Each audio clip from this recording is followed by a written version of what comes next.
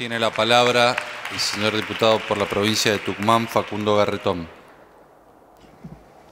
Buenas noches, presidente. La verdad que estar aquí en este momento es una situación compleja para mí y en un debate tan largo, siendo tres y media, cuatro de la mañana, eh, y siendo una de las personas indecisas, después de haber analizado tanto y haber compartido tanto eh, tengo que tomar algún tipo de definición.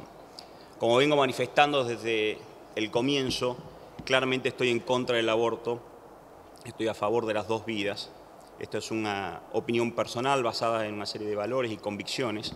Sin embargo, como digo siempre, esto hay que analizarlo desde un punto de vista de salud pública.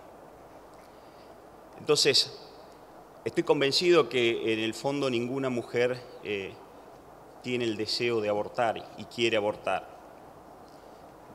Sin embargo, eh, el análisis de la despenalización tiene que ser analizado desde un punto de vista justamente de salud pública, entendiendo que la despenalización puede ser una herramienta que puede bajar la tasa de aborto en Argentina. Hasta aquí está claro que la criminalización no tuvo un efecto ni preventivo ni disuasorio.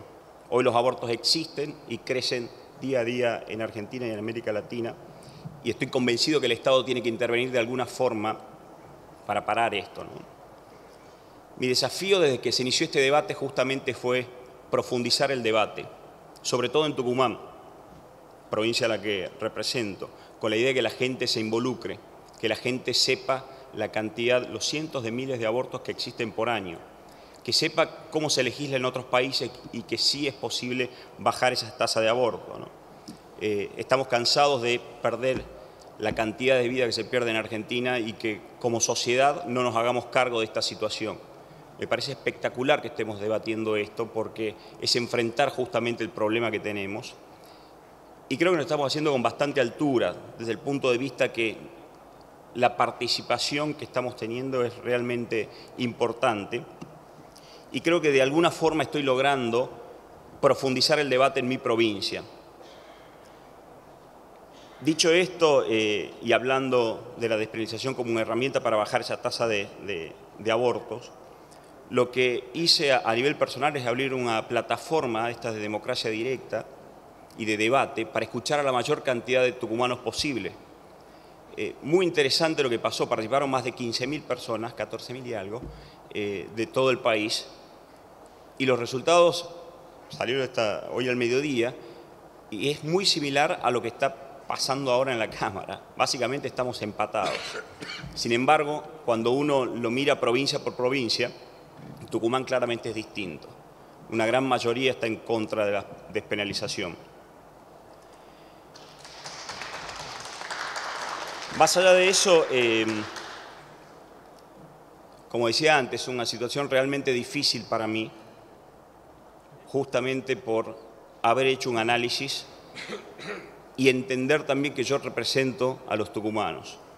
Hace el fin de semana hubo una marcha donde fueron más de 100.000 personas a la plaza caminando y dando su, su opinión al respecto. En este sentido, entendiendo que la despenalización puede ser una gran herramienta, pero basado también en las grandes dudas que tengo de este proyecto, sobre todo en cómo se puede implementar en Argentina, teniendo en cuenta que todo esto que esperamos nosotros de tener esa contención social, el psicólogo, un sistema de salud, donde funcionan, existen sistemas de salud mucho más desarrollados, más avanzados, sistemas preventivos más sólidos. No sé si en Argentina estamos a la altura de las circunstancias con esos sistemas.